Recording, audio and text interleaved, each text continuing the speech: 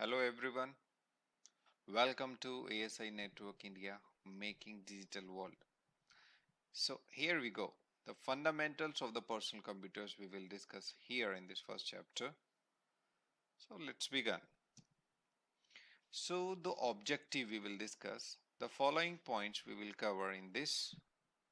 So first points would be identifying the function of the computers, explain the different type of computers, list the component of the personal computer, explain the front and back side of the personal computer, and discuss the power on self-test. Function of the computers.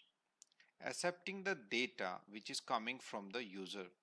So whenever you are trying to do any entry by pressing a key from the keyboard, it forwarded to the central processing unit.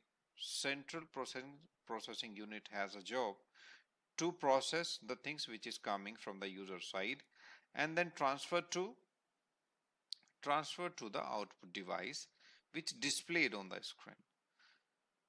Okay so process the input using the some instructions as, as, as we discussed. While pressing the key the output will be displayed uh, process the data to the output device.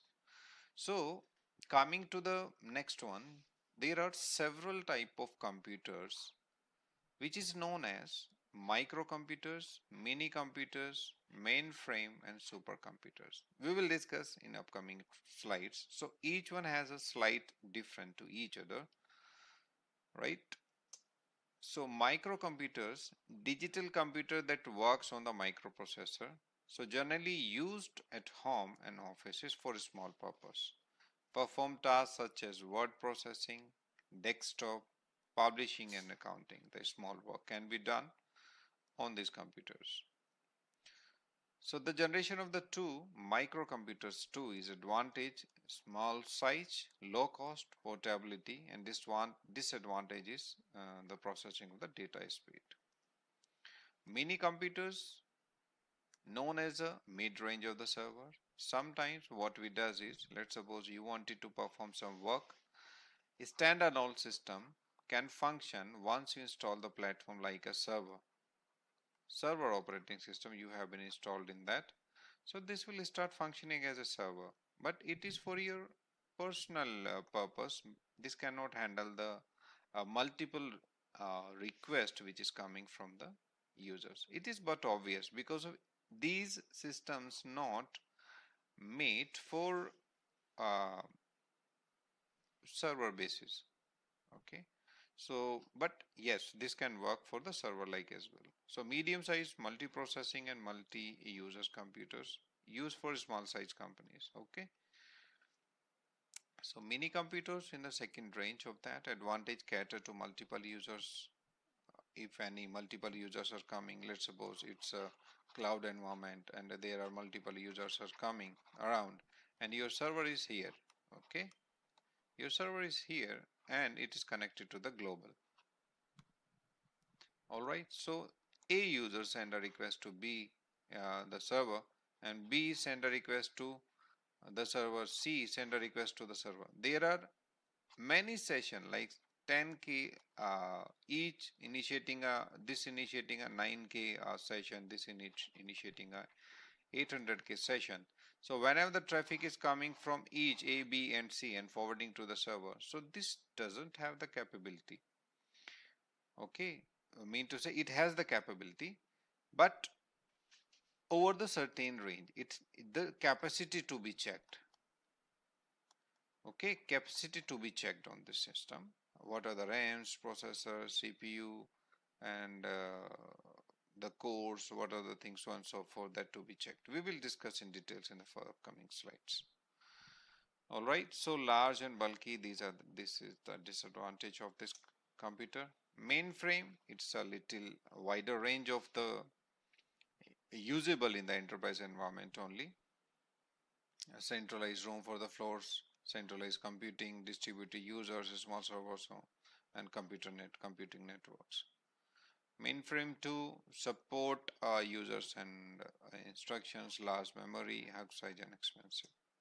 So supercomputers is the father of each one okay? So generally these things manage in the data centers okay? High speed and reports advanced physics okay? Consists several computers means these type of uh, systems will be utilized in high uh, performance environment and critical environment because of uh, it is it is uh, costly and expensive. And DC data center generally it is being utilized. So components of the computers input device output device storage processing and communication devices and infrastructures. Uh, input devices are keyboard pointing device scanner and digital camera. Everybody we are aware about that. Output devices like a display system display card sound card printer and fax. These are my output devices. Storage devices floppy cd and dvd cd right? So and magnetic devices solid state drive flash memory these are the temporary memories. So flash memory okay so and memory cards. So these are uh, the permanent usually the data. It's a it you can touch and feel that. Okay you can touch it directly. So digital audio tape drives. Processing devices. Okay so microprocessor chipset and bios. So guys you need to keep in mind that these are the main part which is processing the entire things in the computers okay. These three things will be set to on the motherboard. Set to the motherboard. Okay. Based on each things connected to the motherboard and process and has a delivery job for uh, which is coming the data from the user side which you are using the input device. So interfaces these are port and cables serial cables parallel cable and USB LAN card modem these are the cables which is being utilized we will discuss don't worry about that we will discuss in upcoming slides in details so infrastructure, uh, the peripherals are attached, system case, power supply, motherboard and expansion port. Okay. And uh, introducing the front and back slides, uh, front and back side of the PC, show it particularly.